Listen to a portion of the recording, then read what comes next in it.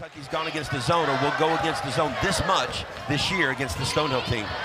Mitchell gets the Cats on the board. With those easy. Well, the other team, the next opponent's going to know about it. Here's Mitchell, the trailer. Bottom. Now, I, I love Kentucky hitting these threes. Kentucky, Mitchell, just the trailer guy. Dillingham found it. I mean, even though I'm. There's Mitchell in the middle of that zone. Oh, that's too easy. And that's. Out. Trying to apply some pressure to him. Mitchell powers up and scores. Basket by Mitchell. Mitchell's got run here by Stonehill.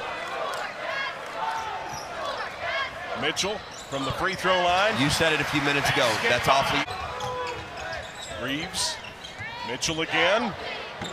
It's there all night. It's there all night. He's wide open. I mean, no, we talked about him. Dillingham, then Tre Mitchell, what he did in the paint. I mean, every single time, control.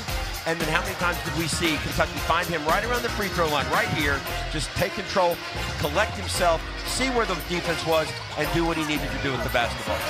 Of the three Kentucky players who scored in double figures in the first half, Tre out of Sheppard.